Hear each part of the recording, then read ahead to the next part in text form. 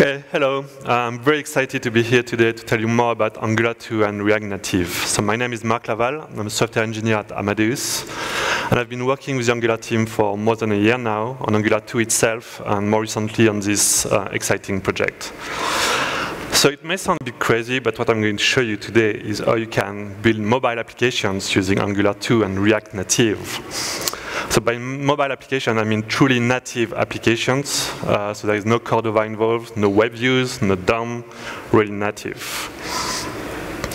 Okay, and so this is great. So it works today for iOS and Android, and hopefully late uh, in the future for more uh, platforms. So what is great? What is great is that it really allows to do cross-platform development with a unified developer experience among all those different channels. So the don't dream too much. So the, the, philosophy behind it is not to write the code once and run it everywhere with some magic happening somewhere. No, the philosophy here is more to learn once, so Angular 2, and to use it everywhere to build many applications. Okay, so before going to the technical details, uh, the best thing to the best thing is to have a look at what can be done with this. So let's go for a demo. So what I'm going to show you is a kitchen sink application, a showcase application. Uh, so on the left, uh, you've got uh, iOS, on the right, uh, Android. And so basically, as you can see, we can display text and images, native text and native images, which makes a big difference, right? Okay, uh, so basically when building such applications, you're going to use components. And uh, so most of them, many of them are similar to both platforms. So we saw text and image. But this is also the case for the scroll views that we'll get um, on both platforms with nested text. Um, all those inputs also, so the text input, slider, the switch, so the pickers. So, the, so even if they look a bit different in that case, because each platform has its own implementation, they're really the same component. Then you've got some which are more specific to, to each platform. So uh, for example, here on iOS, you've got these activity indicators, the progress view, the segmented controls, date picker. At the bottom, you've got a tab bar. Um, so on iOS, you've got this drawer on the left, on the side, uh, the toolbar at the top, uh, this particular pager uh, layout and those progress bars, for example. Uh, on iOS, you also got uh, map view, for example, uh, and so basically this is where I come from, the very southeast of France, uh, very sunny by the sea and the, between the sea and the mountains, very nice. Okay, so on top of components uh, to build your applications, we need some APIs, what I call APIs. So basically things that you call from the, from the code, uh, like an alert, for example. And again, some of them are the same on both platforms, even if they look differently, so API is the same. Uh, some will be more specific, like this action sheet uh, on iOS.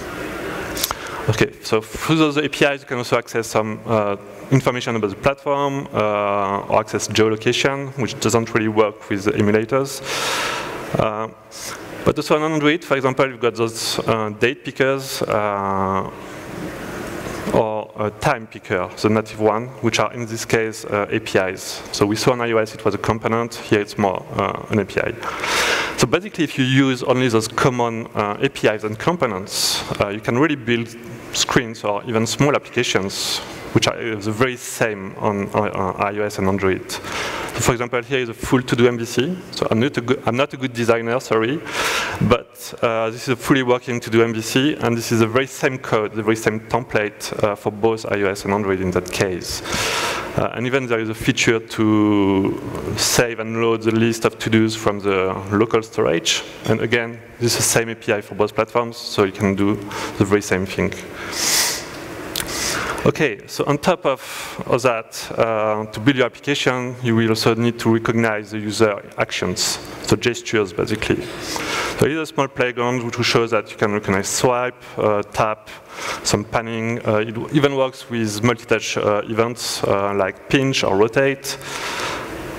Uh, so behind the scenes, so we're, we're using the well-known Hammer.js library so to, and we feed it with basically events coming from React Native, which are very low-level events like touch start, touch move, or touch cancel. And so you've got all those gestures available, and you can even create your own gesture if you want to.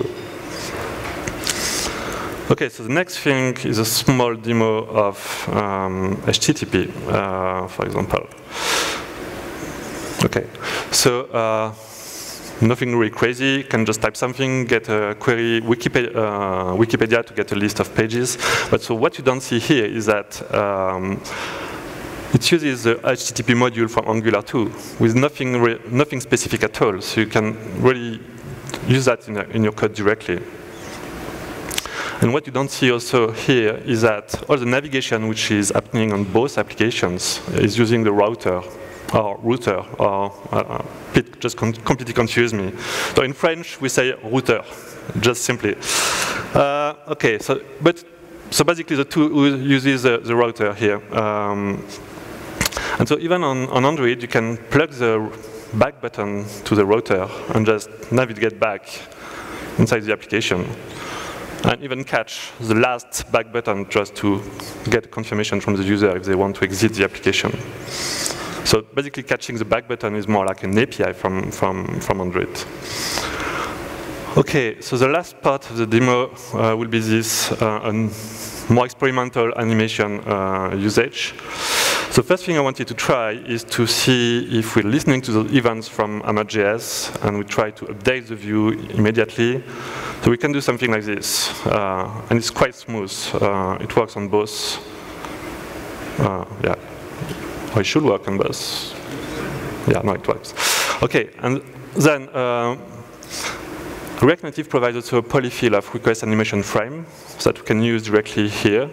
So I can take these balls and send them around like that. So let's try that a bit.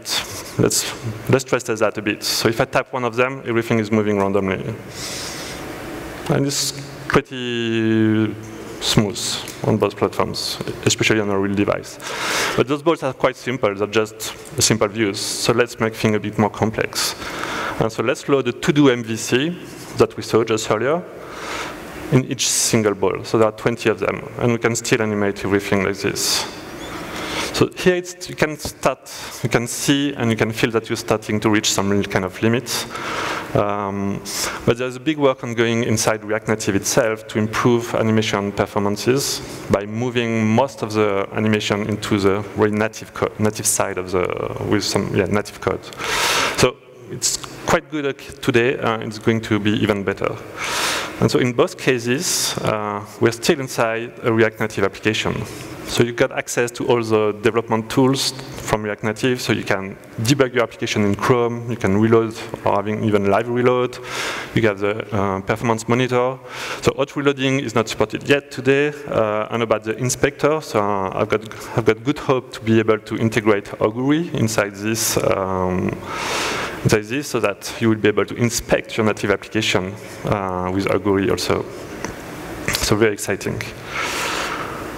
Okay, so that was a demo.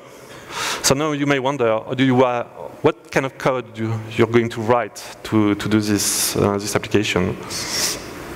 And so this is a sample of that. Of that. Uh, it's quite, so as you can see, it's just some regular to code. You got your component with a selector, your template, your class. Um, so nothing fancy here. So one thing though is that you don't, for sure you don't use HTML, but here you've got the set, this library of components that we saw, and that you're going to use here. So just proper uh, normal Angular 2 components with input, output, uh, some actions that you can execute on them. So with React Native, also there is no CSS, really. There is, but it comes with a styling system. So it looks a bit like CSS because it's a JSON object, but that's the only similarity. Not the only one because the properties are also um, kind of the same. Uh, so yeah, it's a new styling system basically, but it, uh, it supports absolute positioning and it supports Flexbox. So for you as web developers, it's super easy to, to create your layout um, yeah, for your application. Then for the gestures, uh, nothing fancy. Uh, you just use tap or swipe here uh, in the template and it's going to work out of the box. And then you can use everything from Angular 2, all the directives, uh, you can project nodes, you can write components, subcomponents, uh, really everything, uh, all the features, uh, including HTTP uh, and the router. On top of that, you also get access to everything, all the React Native APIs. So the style sheet here is, which is more utility. But for example, if you wanted to create an alert, as we saw during the demo, you would just import alert from React Native, and then in your code do alert.show with some parameters, and it will work. Uh, so, so basically, you can build applications with all your Angular 2 skills, uh, learning a, a, set of components, a set of APIs from React Native, and that's, and that's it. So this is great because uh, it really enables you to share code, basically. So bit, even the ugly spaghetti code that you will write somehow, but so you can share it obviously between iOS and Android. And so even sometimes the template itself, the view, can be shared. Um, but on top of that, you can share a lot of code also between your native application and your web application. So all the services all the, can be completely shared. Even your service that connects to a backend using Angular, the HTTP module from Angular 2, you can fully share it. So you write it once, you test once, and you share it across web, iOS, Android. Okay, so now um, let's have a look at how it works uh, really so to understand that, first let's have a look at how React Native works in general.